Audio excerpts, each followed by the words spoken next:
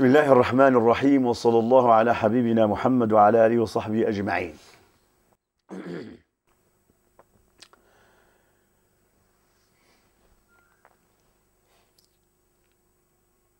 حينما يتحدث الإعلام المصري عن قضية جماعة تسمى الإخوان يشبهون الإخوان بالشياطين. شيطنة الإخوان. فلا تكاد تسمع إلا جملا وكلمات تنفرك من هذا الإنسان. بحيث يمكن للمتتبع لهذا الإعلام أن يخرج بانطباع يكون يكون ما يعرف الإخوان؟ أن هؤلاء ليسوا مصريين بل ليسوا بشرا أصلا. إنما هم مخلوقات ديناصورات نزلت من المريخ إلى الأرض أي غرباء على المجتمع المصري.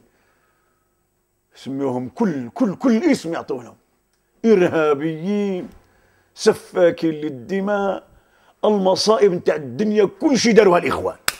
حتى بقاو يقولوا شي وحدين باين لا أوباما راه من الإخوان. وخو أوباما من القاعدة.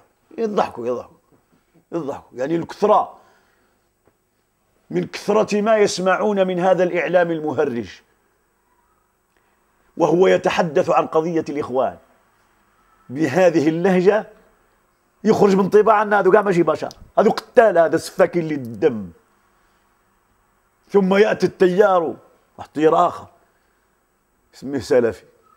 ماشي كاع السلفيين عنده بعض القنوات أيضا. فهو دخل في هذه الحرب. ويا عباد الله نقرا في ذيك البصيره. الشعار تاعها وهي تطهير الأرض من فيروس الإخوان. فيروس. لا تخاف الله فيروس أقسم بالله. تطهير هذا الشعار اللوغو اللي موجود. دائما ما يتمحاش.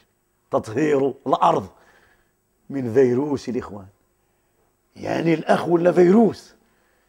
أما حينما يتكلمون عن سيد قطب أو عن حسين البنا يأتون بالكثير الكثير من المؤاخذات وليت المؤاخذة تبقى محصورة في خلاف فرعي ولكن يتحدثون عن خلافات في الأصول فيخرجون هذين من الإسلام. مشكلة هذه مشكلة كبيرة مشكلة كبيرة. ولذلك فكل من يخرج الآن في مصر. وينتفض ضد الانقلاب. يسمونهم الإخوان. يعني كأن الذين يخرجون هم الإخوان. والمنتفضون هم الإخوان أو من خدرهم الإخوان. معناها أن الذين يخرجون ليسوا ممثلين لكل فئات الشعب المصري الذي خرج بإرادته الحرة يرفض أن يكون عبدا لحذاء العسكر بعد أن ذاق حلاوة الحرية بعد 25 يناير. فقسموا الشعب إلى نصفين. إخوان فيروسات مصائب. كل النوعية المنفرة. وهنالك شعب آخر اسمه الأهالي. شو الأهالي. ذوك اللي يقولوا البلطجيه اللي ما أهالي. وقالوا في الأغنية إحنا شعب وإنتو شعب ولينا رب وليكو رب. كما غنى علي الحجار معروف هذا. ففرق الآن الشعب إلى نصفين هكذا يقول. ثم العجب أن الرئيس مرسي اتهم باتهامات كثيرة من جملتها التي سيحكم عليها تخابر مع حماس. تهمة ثقيلة يتخابر مع حماس. الله أكبر. هذه جريمة. ثم ثم تخرج له رسالة. كتبها إلى بيريز. يقول فيها إلى كذا كذا كذا حينما أرسل إليه سفير مصر. وهو يحافظ على العلاقات السابقة إلى تل أبيب وأنه خدام مع إسرائيل. ها مرسل اللي كنتوا كتقولوا سمى اليهود كيسمى كيسمى القردة والخنازير. ولا زالت إسرائيل تخرج هذا الفيديو وهو رئيس. كيف يمكن لمصر أن يحكمها من يقول في اجتماع علني يسمي اليهود بأبناء القردة والخنازير؟ لكن يخرج يجيب ذيك الرسالة في البصيرة القناة بتاع البصيرة يقولوا انظروا إليه الآن إنه أخ كذا وكذا. لا إله إلا الله محمد. فبدأت مع توالي الأيام بعد الانقلاب 110 أيام. في كل مرة تخرج فضائح يفضح الله هذا المشروع. فضح السيسي في لقاءاته السرية. وفضحوا حينما عرفوا أن الانقلاب أسس له يوم خرج عمر سليمان يعلن في المصريين أن مبارك يتخلى عن السلطة. كما قال نعوم تشومسكي. الانقلاب كان على الطاولة في اليوم الذي أعلن فيه عمر سليمان على تنحي مبارك يتنحى مبارك وبعد ذلك يتم الإعداد لاستعادة الحكم العسكري ولكن بعد أن يقوم بتشويه الإخوان وشيطنتهم إعلاميا ثقافيا وهو ما قام به خلال سنة. الآن إن شاء الله مما تكشف كل مرة كنتكلم على مسائل جديدة من الأمور التي تكشفت. وتحدث عنها برنامج بلا حدود يوم الأربعاء. حينما استضاف شيخ الأقصى رائد صلاح. فقال هذه معلومات تصدر لأول مرة عن علاقة مرسي بالقضية الفلسطينية منذ أن تولى الحكم عبر انتخابات نزيهة الله أمور جديدة. قال له ما هي؟ قال له ثلاثة أنت المجالات. قال لهم ولعلكم ستتفاجؤون. بل لعلكم ستخرجون بانطباع أن من أسباب الانقلاب على مرسي هو هذا الاحتضان للقضية بقلبه وعمليا. أما الإجراء الأول قال لا أخفيكم أنه كان يهاتفني ويهاتف المرابطين في بيت المقدس ليطمئن بنفسه كأكبر رئيس لأكبر دولة عربية إسلامية على القدس وعلى الأقصى. رئيس أول رئيس عربي مسلم يهتم بقضية القدس عمليا. فتراه يأخذ الهاتف ويهاتف المرابطين في حرم المسجد الأقصى. وفي القدس. ويطمئنهم ويطمئن إليهم ويثبتهم ويدعو لهم كأنه واحد منهم. ولذلك لم يرفع ولم ترفع صورة أي رئيس في المسجد الأقصى إلا لرئيس واحد. شكون هو؟ مرسي. هذه المسألة الأولى. أي؟ اهتمامه الخاص الشخصي. المسألة الثانية. لا إله إلا الله محمد رسول. قام بمشروعين عجيبين. ثانيا المشروع الأول هو تأسيس مؤسسة دعوية. أسمعت دعوية. تجمع الدعاة والأئمة والعلماء أصحاب التوجه الإسلامي. ليناقشوا قضية كيفية دعم صمود أهل الأقصى والقدس بتوعية الناس في مصر. الله.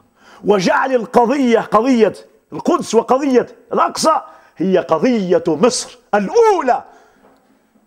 فينبغي أن تكون الخطب في المساجد كل جمعة. وينبغي أن تكون الندوات. الدراسات والمقابلات في الإعلام أن يكثف العمل التوعوي للأمة الإسلامية مستغلين الإعلام لإيصال حقيقة ما يجري في القدس حتى تصبح قضية القدس هي من أولى أولويات الرئاسة المصرية. هذه المسألة الثانية. المسألة الثالثة مادية مشروع أسس مجموعة من المؤسسات التي تعنى بتقديم الدعم المادي للأقصى وللقدس.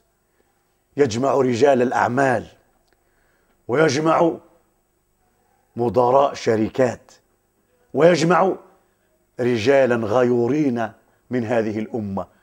فأسس مؤسسات وقال رائد صلاح وكنت ممن استدعاني مرارا لأحضر أشغال هذه المؤسسات حينما تؤسس ولم تسمح للدولة العميقة أن أدخل. منعت من الدخول. وآخر مرة أعطيت التأشيرة هو في يوم الانقلاب على مرسي. يقولوا له هاي أدخل درك لك. الله. في النهار نتاع الانقلاب 3 يوليوز عطت له التأشيرة للدخول إلى مصر.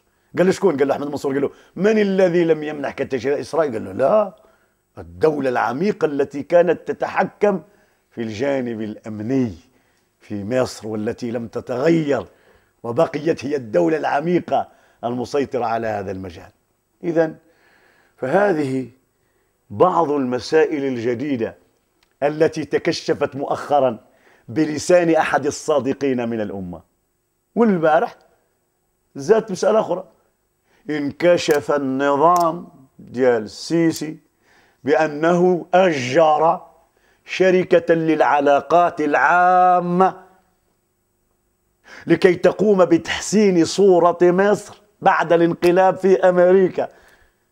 وهذه الشركة زيد شركة أغلب من يعمل في إطارها ينتمون إلى الإيباك الإيباك ولا كيسموه يعني أكبر لوبي صهيوني للضغط على الإدارة الأمريكية.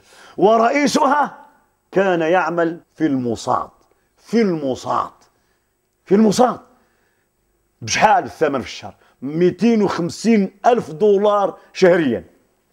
ثم تأدية الأموال الباهظة للإجراءات الأخرى التي يتطلبها العمل الدبلوماسي.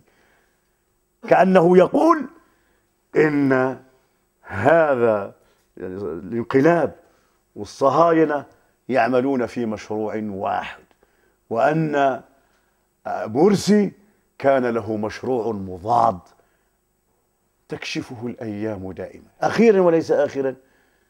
أن نعوم تشوبسكي قال متى تغير أوباما وسياسته على مرسي في زيارة مرسي الأولى إلى أمريكا اتفق معه على أن يقرأ جملة في اللقاء الصحفي المشترك وهي إن مصر وإسرائيل تعملان على توفير الأجواء الأمنية لخدمة كذا وكذا.